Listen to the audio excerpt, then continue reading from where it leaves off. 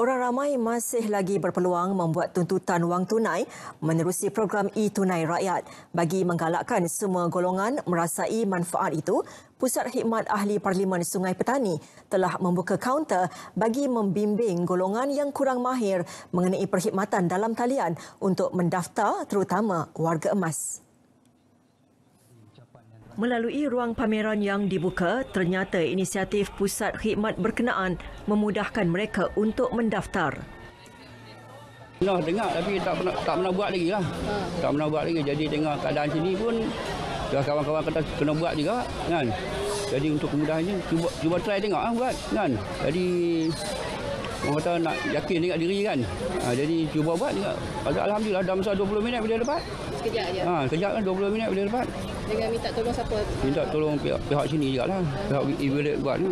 Jadi dalam masa 20 minit kita tengok benda tu betul. Kan? Jadi mudah lah. Alhamdulillah lah. Hmm. Sat saja. Tak ada masalah apa pun. Dalam 2 minit. Tak- Dalam 2 minit, 5 minit je. Tak ada masalah apa pun.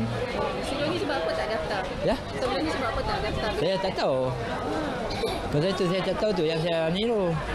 Kalau saya tahu senang boleh. Hmm. Nak guna untuk apa? Ya. Untuk guna untuk bayar bil macam-macam lah boleh guna.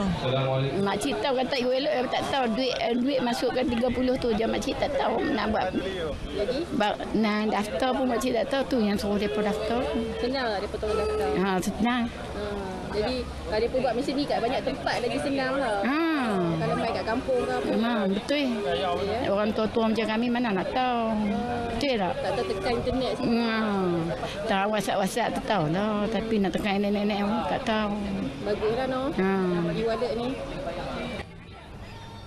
Menurut penganjur, orang ramai terutama warga emas yang ingin mendapatkan perkhidmatan pendaftaran e-tunai perlu mendapat khidmat nasihat daripada pihak yang berkredibiliti seperti wakil-wakil dari agensi kerajaan. Kerana dengan e-wallet tu kita tak perlu bawa duit yang banyak lah untuk pergi shopping ke beli barang ke.